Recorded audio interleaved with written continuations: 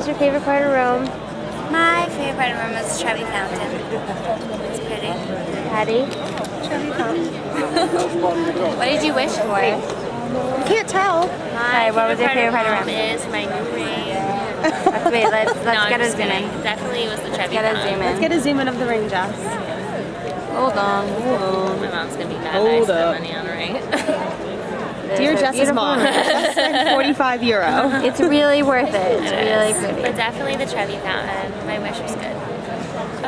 I know, my wish was so good.